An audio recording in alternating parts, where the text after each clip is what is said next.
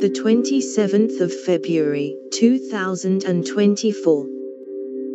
Running out of opportunities, Olympic medal weighs on Matildas' old guard.